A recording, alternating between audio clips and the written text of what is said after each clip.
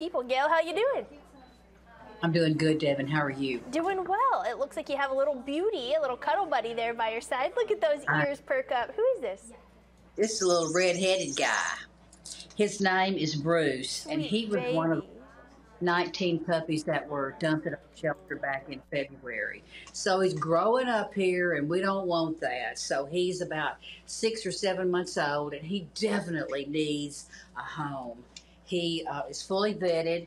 He's very sweet. He weighs about 35 pounds, so he's not going to get much bigger. He may fill out a little bit, but just a really sweet dog, and it just really goes to show how much we work with these dogs and um, try to socialize them. He's very social. He's very sweet. He likes other dogs.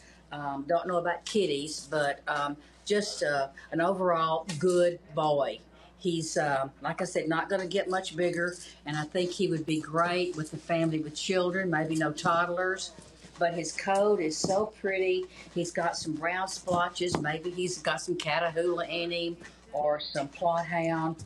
But he, we just found out he loves to play with these toys, and he loves to cuddle. He He's is a cuddle bug. You can see I really love is. I love the And white got that- stripe.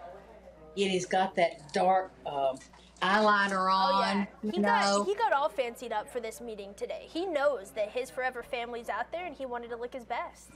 yes, he does. Look So at he's that tail wagging. Okay, so if so- someone says, "Hey, Bruce is the dog for me," where can they go about uh, making it possible? They can go to the website at petsfurpeople.org, click on that adoption application. We just have a few questions we need you to answer. Uh, submit that. We'll take a look at it. If we think that it would be an appropriate home for Bruce, we'll give you a call, make an appointment for a meet and greet. If you have other dogs, bring them. If you have children, bring them. Let's see how everybody gets along.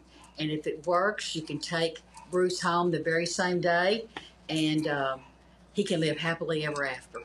Absolutely, that's all we want really is for our little furry four-legged friends to have a happily ever after. And honestly, you get a whole lot of benefits from having them around in your life as well.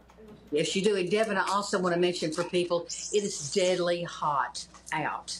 So if you have outside dogs or cats, please make sure they've got some protection from the sun and that they've got fresh, cool water that's not going to be out in the sun. But if at all possible, bring them in. And it's also a good reminder to spay and neuter your pets.